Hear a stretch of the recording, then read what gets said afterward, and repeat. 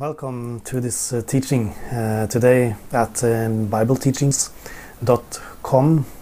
Uh, my name is uh, Tore. It's a Norwegian name, Tore Johannessen. It's a Norwegian uh, name, and uh, some people they don't they don't know how to uh, pronounce it uh, if you are uh, if you speak English. Uh, but uh, my name is Tore, uh, and and I actually I'm living actually in northern Thailand and I'm married to a woman from Myanmar. And uh, both of us, we are, we are working here in northern Thailand and, and also towards Myanmar. And uh, to a, uh, towards us, uh, our people group actually called Shan, the, Shan people. Uh, but something that is really on our heart is to share the good news. Share the good news with the Shan people, and not only the Shan people, but people all around the world. We want to share the good news.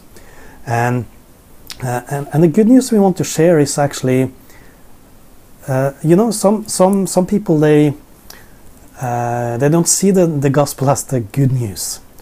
Some, some people, they maybe not, pre- not, are not preaching the good news. And sometimes we need to know what is the good news.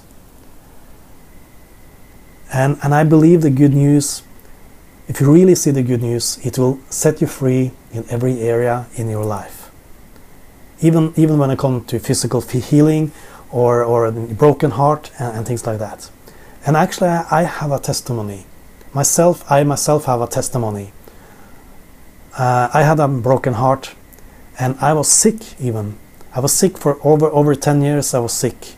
I couldn't eat uh, sugar. I couldn't eat any chocolate or or milk or or anything.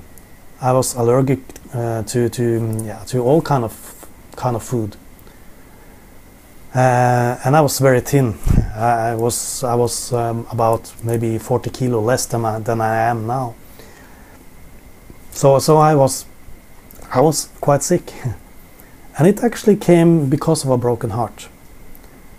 And when God started to work with me, and started started to heal my broken heart, I I became uh, I became better in my mind. I was I had more a sound way of thinking, and I also uh, I also experienced to get free from this sickness that I was that was uh, that I had for over ten years. This all allergic reaction that I had had, uh, and all the pain I had. I had a dizziness. I had a headache. Uh, I couldn't breathe properly and now all this all this uh, illness, all these problems, physical problem problems that I had, and it all came by because of a broken heart. Uh, I kind of saw that uh, after many years. I started to see that, and I started to see also something about the love of God. And when I started to see something about the love of God, it really set me free. But maybe the one that one thing that really set me set me free was this truth about who I am. There's so many people, so many people in this world, going around in, in this world and having this question, having this question, who am I? Who am I truly? And there's, there's a lot of people who have this question. And, and maybe that, that's, that's the most important question to, to ask. Who am I? Who truly am I?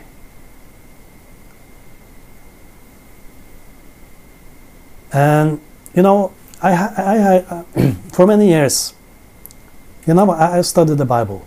I'm a Bible teacher. I'm not a psychologist or something like that, but I am a Bible teacher, I'm teaching the Bible. I've been teaching the Bible for almost almost 30 years.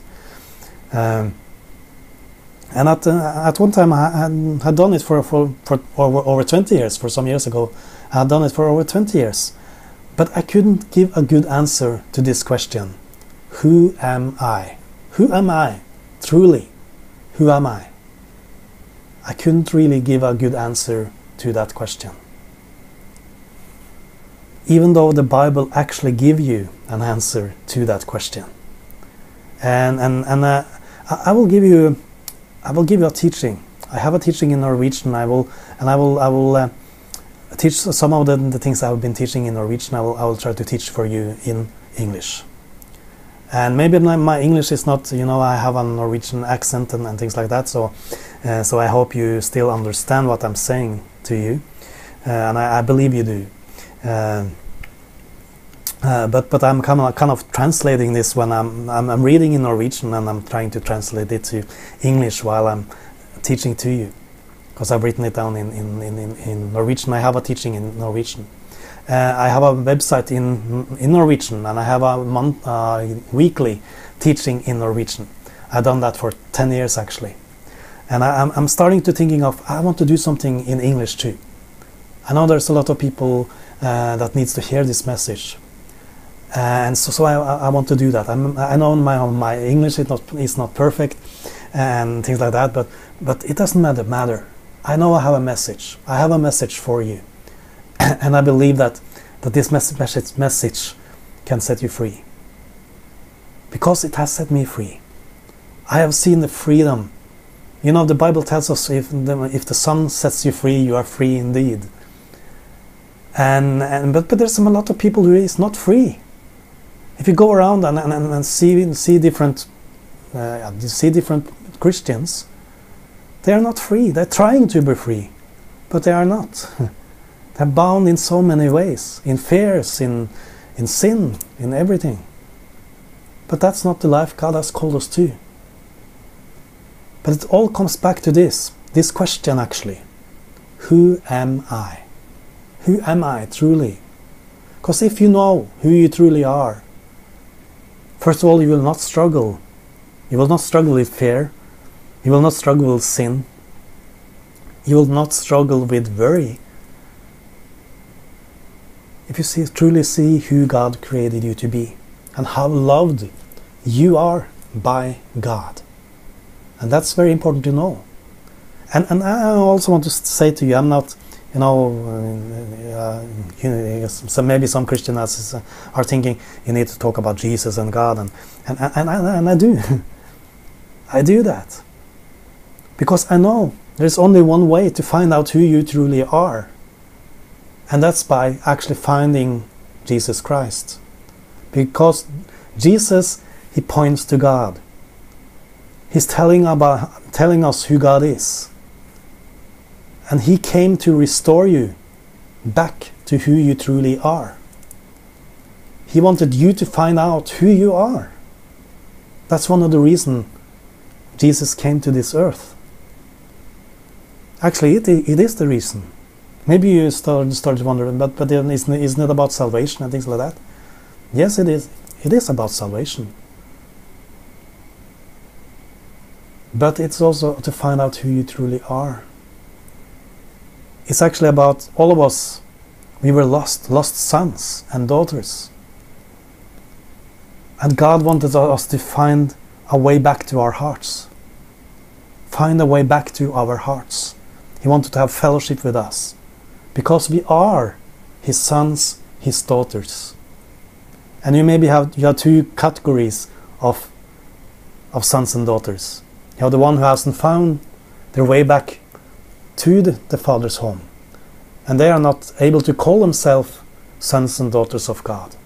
But then you are those who are have come back to find find find the truth about who God is and find find their way back home and they are the Christians but still people who have found the way back home they still have a wrong way of thinking about themselves who they truly are they don't see themselves as true sons and daughters of God.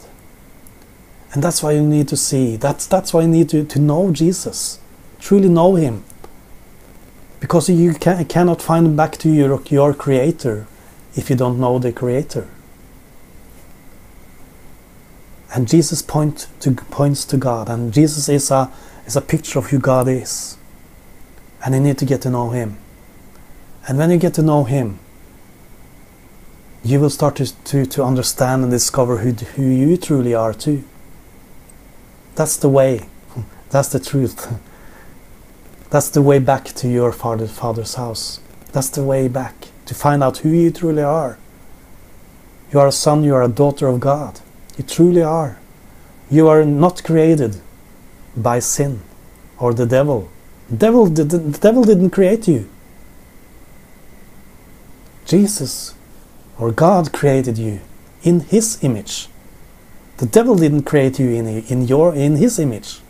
Sin didn't create you in his image. It was God who created you in his image.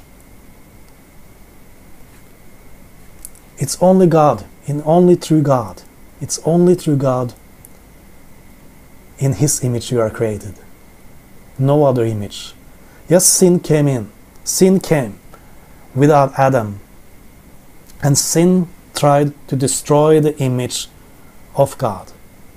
He tried to destroy human being. Sin tried to make a picture, a different picture than who you truly are.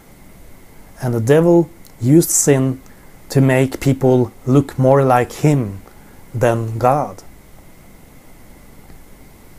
I hope you see that this is actually quite simple, but many people have complicated this a lot.